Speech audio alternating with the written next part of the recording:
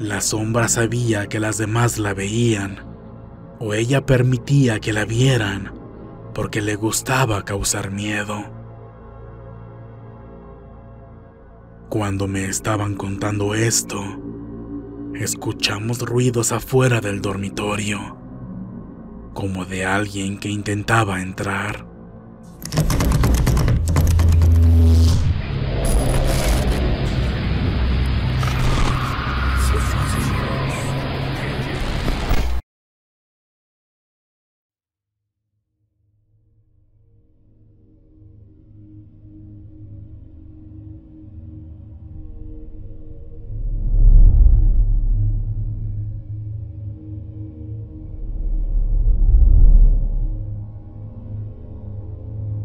Buenas noches.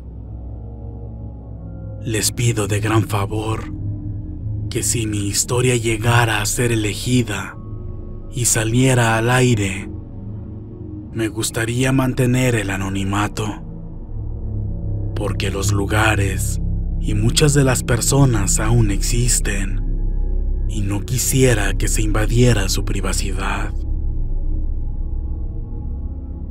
Esto ocurrió en el año 2006. Yo vivía en una casa hogar para niñas de la calle. Realmente yo sí tenía familia, pero mi madrastra nos maltrataba mucho.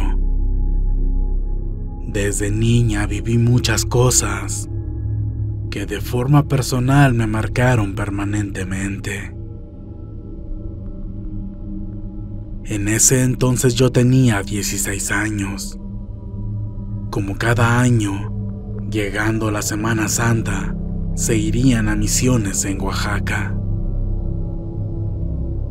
Soy salesiana y lo comento porque dentro de la congregación somos fieles creyentes de los sueños de San Juan Bosco. Él soñaba con la Virgen, con Jesús y vio su misión a los 10 años de edad. No obstante, así como soñó cosas bonitas, también soñó con el infierno.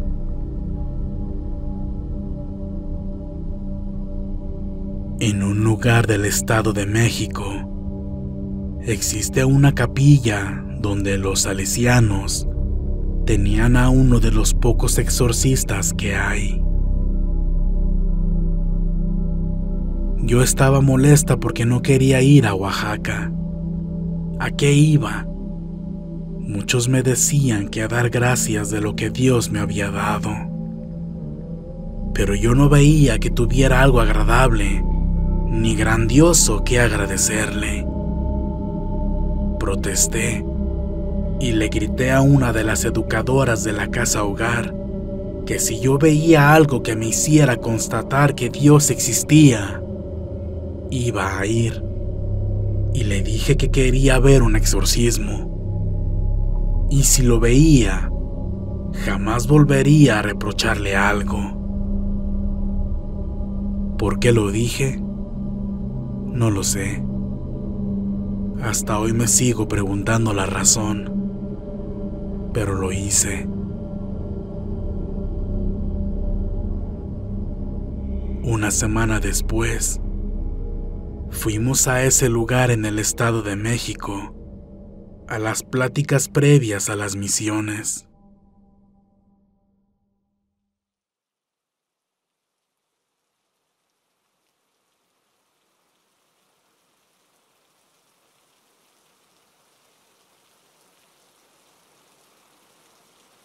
Cuando ya nos íbamos a retirar, me pidieron que fuera a buscar a las niñas más pequeñas.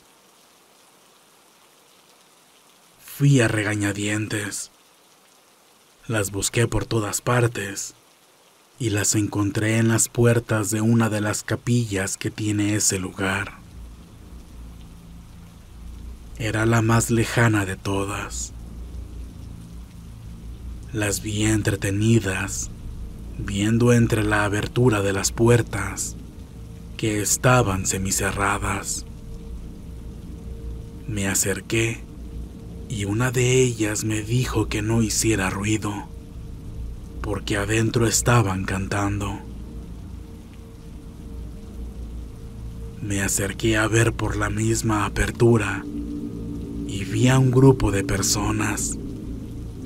Estaban rodeando a una mujer sobre el altar. Sí estaban cantando. Sin darme cuenta entré y mientras yo lo hacía, la mujer se erguía en el altar y gritó.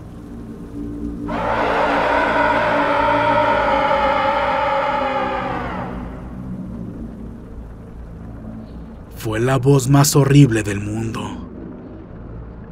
Era hueca, fría y llena de resentimiento, lo mismo que sus ojos. Ella volteó a verme y me preguntó. ¡Bien! ¡Querías ver! ¡Mírame!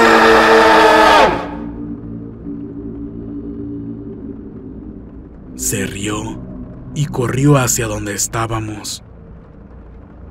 El padre y las demás personas que estaban con ella la detuvieron.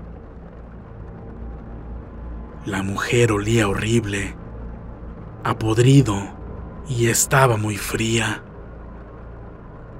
De repente comenzó a decirme cosas de mí que nadie más sabía. Cosas que me hicieron y otras tantas que yo había hecho y que me había guardado solo para mí porque me avergonzaban demasiado.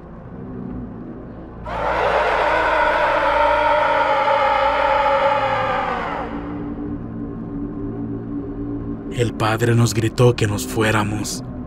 Las niñas me miraban y me preguntaban si me había asustado. Después de conversar con ellas, afirmaron que esa mujer nunca me dijo nada, que únicamente me gritó. Pero yo escuché claramente todo lo que me dijo.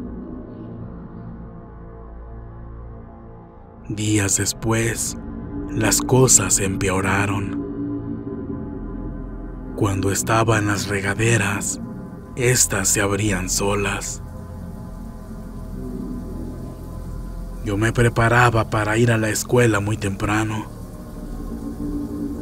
A las 5 me bañaba y ponía el radio muy bajito para hacerme compañía. Una mañana la radio se cambió y pude escuchar la interferencia de la perilla al ir girando.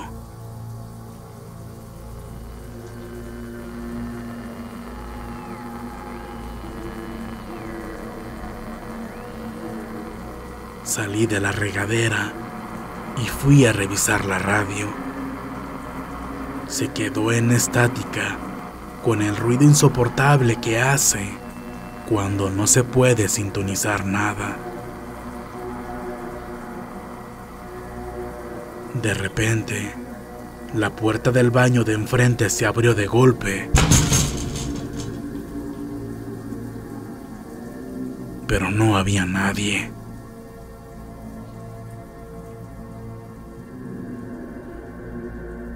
A medida que los días pasaban, las cosas empeoraron aún más.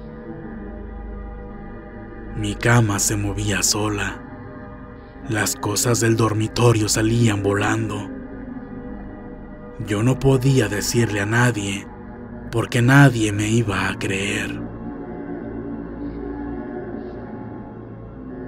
Una noche, las niñas me contaron que había una sombra que se acercaba por las noches a mi cama y se quedaba extrañamente quieta.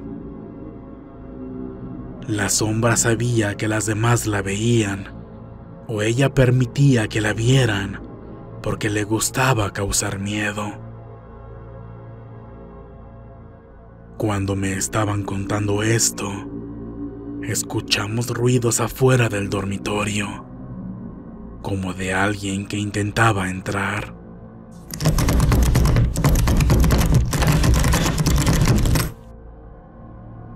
Pregunté quién era y nadie respondió.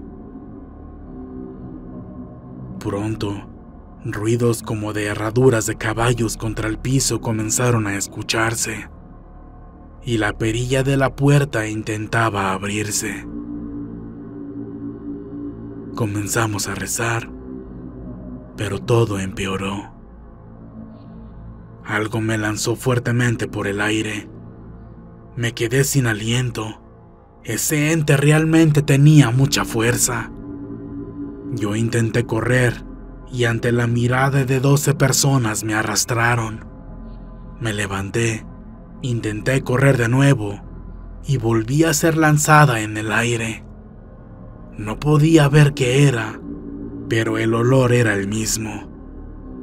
La sensación era la misma que cuando tuve de frente a aquella mujer. En eso, entró al dormitorio una de las educadoras. Ella tiene el don de lenguas. Comenzó a rezar y pude distinguir palabras en otro idioma. La temperatura descendió drásticamente y todos los cristales del dormitorio se estrellaron. Esa misma noche, llamaron al sacerdote exorcista. Por primera vez, pude contar cómo había comenzado todo. El padre oró por mí durante semanas, pero las cosas no mejoraban. Entonces me dijo que estaba siendo oprimida, que los demonios buscan la forma de hacerte sentir sola. Te oprimen te quiebran la voluntad y por último, te poseen.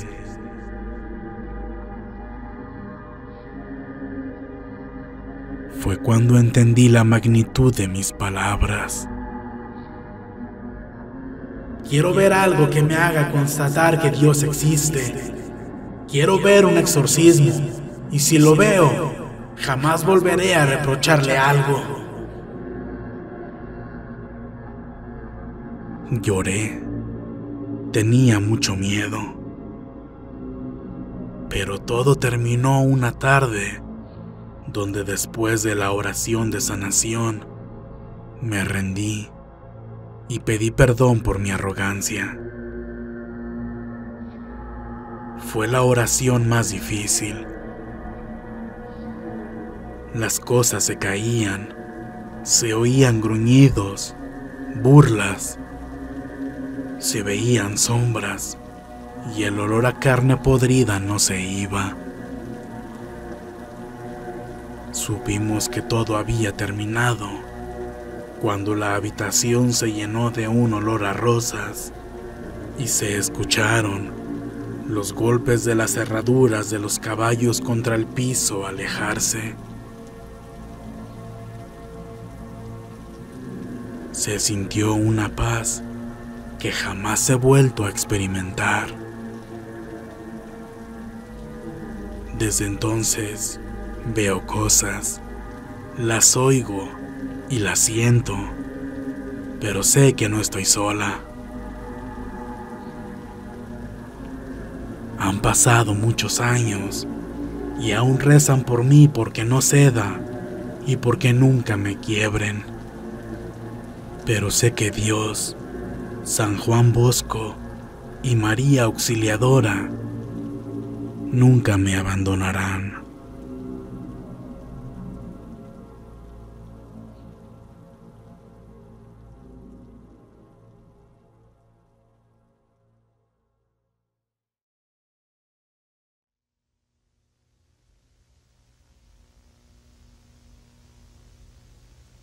Buenas noches amigos que escuchan frecuencia paranormal. Les habla Frank. Eh, ya saben, yo soy narrador y editor de videos de este canal. Y bueno, antes que nada quiero agradecerles porque se quedaron hasta el final para escuchar esto. Y ustedes saben que nosotros no solemos hacer ningún tipo de intervención al final de los relatos precisamente para no romper con el, con el misterio, pero en esta ocasión creemos que sí es necesario hacerlo. Y es que bueno, sabrán que esta semana hemos estado un poco ausentes en el canal y es eh, como siempre debido a problemas con nuestra vida cotidiana, el trabajo, ya saben. Eh, pero también también sucedieron algunas cosas muy extrañas con respecto a este video que ciertamente eh, sí entorpecieron el flujo de trabajo e hicieron que se retrasara todavía más. Cosas que no sé cómo catalogarlas, pero son muy curiosas, cosas que me ocurrieron a mí al momento de estar editando.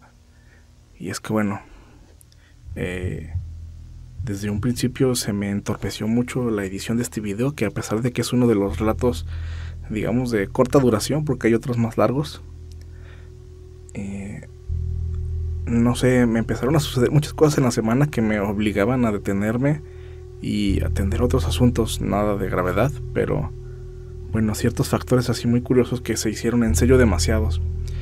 Y empezando por ahí, eso yo lo consideraría como algo normal, pero ahora que lo analizo, no sé si eso forma parte de un todo. Pero bueno, eh, yendo al grano, si ustedes ven este video por ahí del minuto 7 con 3 segundos, 4 segundos, más o menos, van a apreciar la fotografía de un Cristo. No tienen idea del trabajo que me costó incluirlo en el video. Comenzando porque en primera yo decidí que quería meter un crucifijo ahí, un, Cristo, quería que aparecieran en el video, en la ilustración porque iba muy de acuerdo con la escena, ¿no? Estaban dentro de un, de un templo y quería mostrar eso.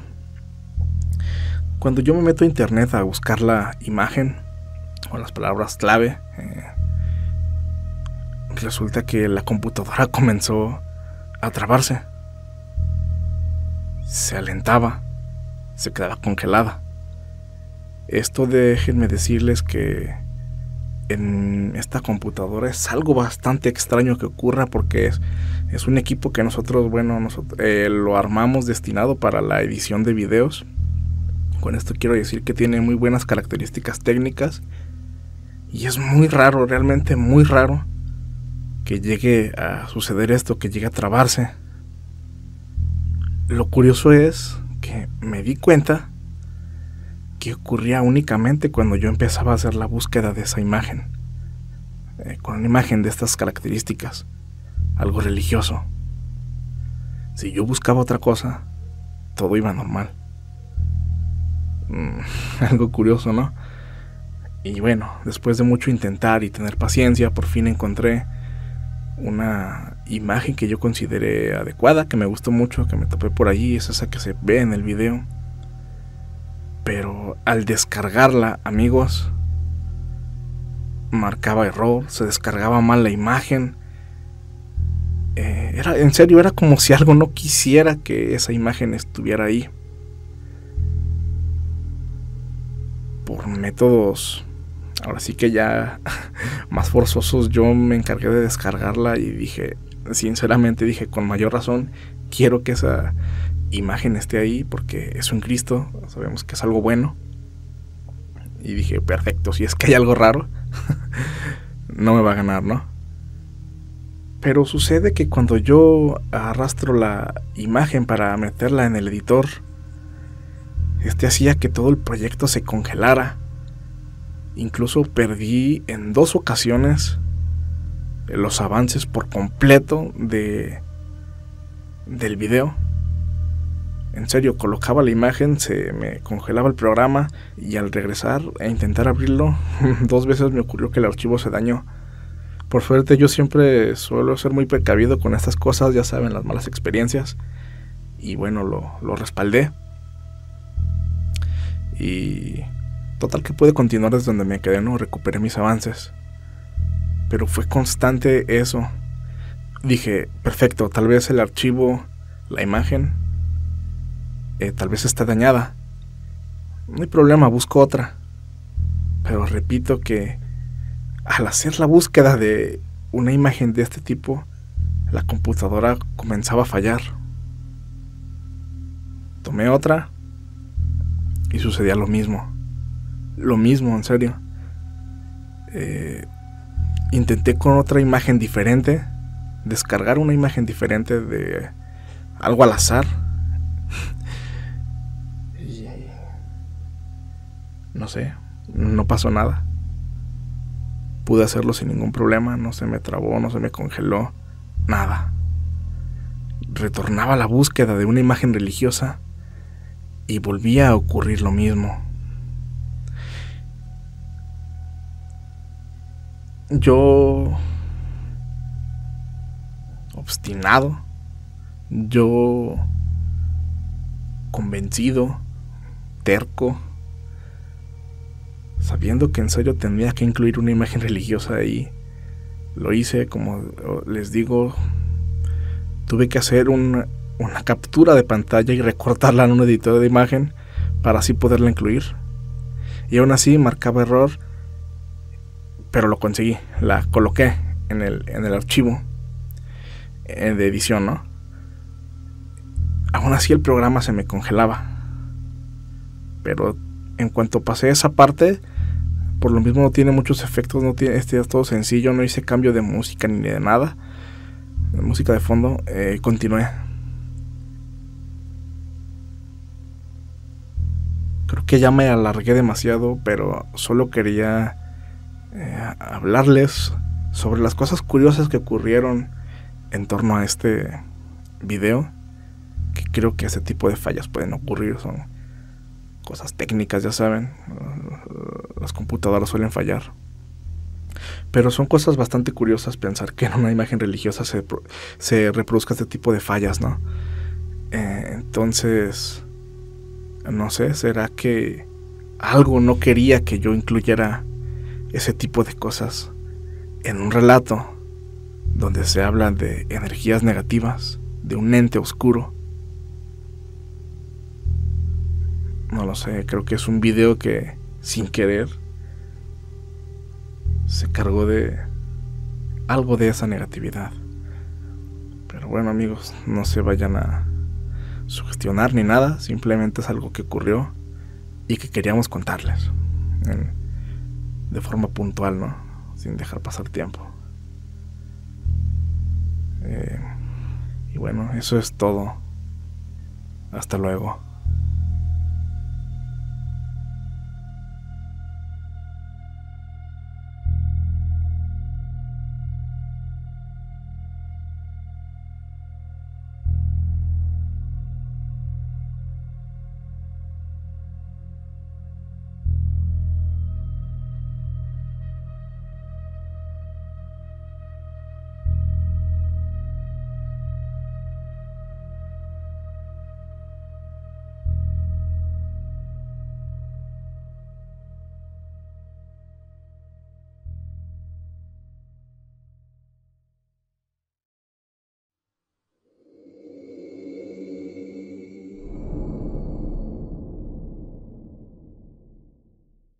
Si este video fue de tu agrado, por favor apóyanos dando pulgar arriba. Suscríbete para formar parte de esta frecuencia. Si consideras que este material es digno de compartirse, por favor hazlo. Y no olvides que puedes contactarnos a través de nuestras redes sociales. Ahí podrás compartir con nosotros tus historias, experiencias, relatos y sucesos de los que tengas conocimiento. Estaremos muy complacidos en narrarlos para todos ustedes, dándoles el crédito correspondiente. Para ustedes, frecuencia paranormal.